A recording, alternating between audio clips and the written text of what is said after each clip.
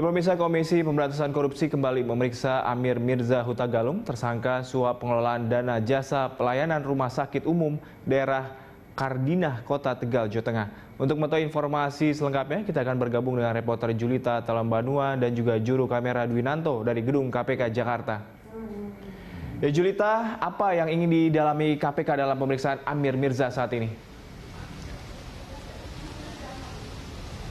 Ya, sakti pemeriksaan Amir kali ini adalah untuk melengkapi berkasnya sebagai tersangka kasus korupsi proyek Rumah Sakit Kardina Kota Tegal. Amir tiba di gedung KPK tadi sekitar pukul 10 pagi dan pemeriksaan hingga saat ini masih berlangsung.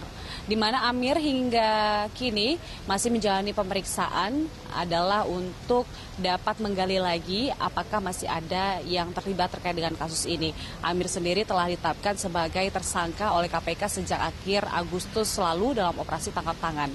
Ia ditangkap bersama dengan wali kota Tegal Siti Masita Suparno. Amir merupakan pengusaha yang menerima suap sebesar 5,1 miliar rupiah terkait dengan proyek rumah sakit Kardina Kota Tegal. Selain itu KPK menduga Amir juga terlibat dalam sejumlah proyek pemerintah Kota Tegal yang ia terima dalam rentang waktu dari Januari hingga Agustus 2017 sehingga inilah yang masih akan didalami oleh penyidik KPK.